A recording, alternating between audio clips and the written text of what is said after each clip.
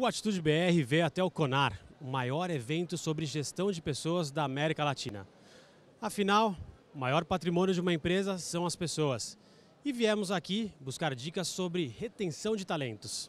A remuneração, inclusive, quanto mais jovem é o profissional, menos ela é uma variável importante de retenção.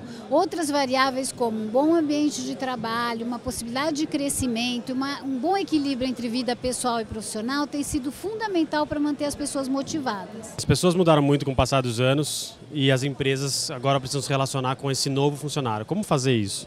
Então, é, esse é um dos itens que nós estamos discutindo muito aqui no Congresso, Tiago, que é a questão de como se preparar para esse mundo do trabalho do futuro, onde as pessoas estão mais distantes, o líder está distante dos seus subordinados, os conflitos entre as equipes são diferentes. Muita coisa vai ter que ser mudada, a forma como recursos humanos avalia as pessoas, a forma como analisa os conflitos entre líderes e time. Então, nós temos que reestruturar toda a nossa forma de pensar para poder se encaixar nesse mundo do trabalho que está mudando.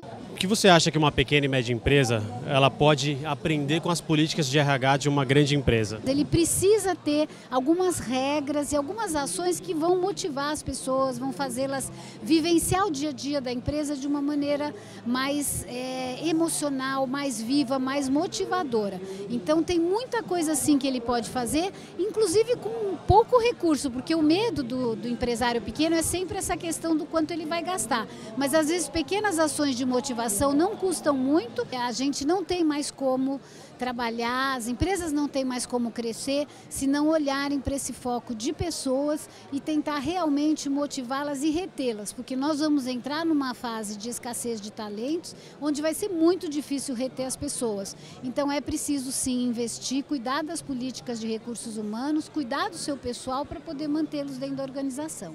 Essas foram as dicas do Atitude BR sobre gestão de pessoas. E se você quiser mais dicas, acesse o nosso site atitudebr.com.